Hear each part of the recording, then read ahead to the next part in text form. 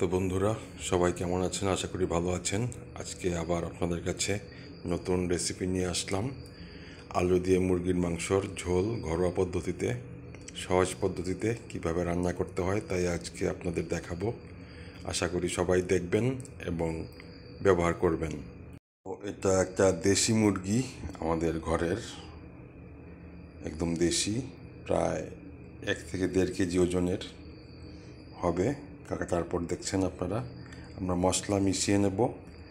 এখানে আদা, জিরা, মরিচ, হলুদ, রসুন, গরম মশলা সব কিছু গুঁড়া করা আছে, মিশিয়ে নেব, লবণ দিয়ে দেব।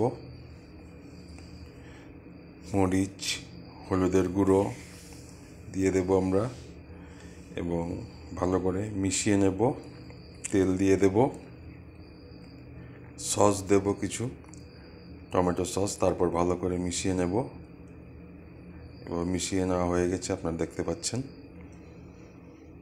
কড়াইয়ে অল্প তেল দিয়ে, তেজপাতা দিয়ে, তারপর এটাকে কষিয়ে নেব। দেখেন, কষা হয়ে যাচ্ছে। ভালো করে একটু নাড়াচাড়া করতে হবে, যাতে তলাটা না পুড়ে যায়। ভালো করে নাড়াচাড়া করবেন একটু সময়। এই দেখেন এখন কষা কষা মাখা মাখা হয়ে এসেছে প্রায়। এবার আমরা ঝোল দিয়ে দেব মাংসের, সাথে কাঁচামরিচ দিয়ে দেব।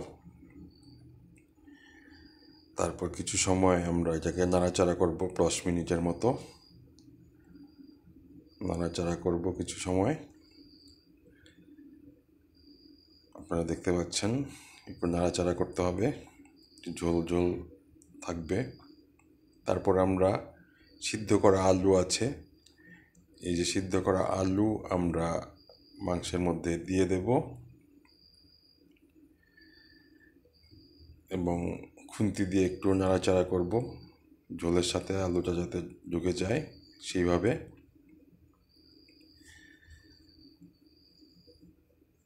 তারপর বন্ধুরা যা একটু কষা কষা হবে, দশ মিনিট রান্না করতে হবে, মিডিয়াম আছে।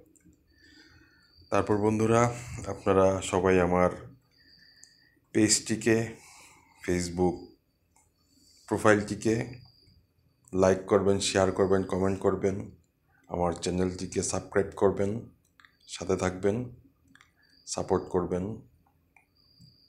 ভিডিওটি ভালো লাগলে অবশ্যই লাইক কমেন্ট শেয়ার করবেন। তারপর আমাদের প্রায় হয়ে এসেছে, দেখেন সুন্দর কালার এসেছে, এবং আমাদের রান্না শেষ। সবাইকে ধন্যবাদ দেখার জন্য। সবাই সাথে থাকবেন। ধন্যবাদ।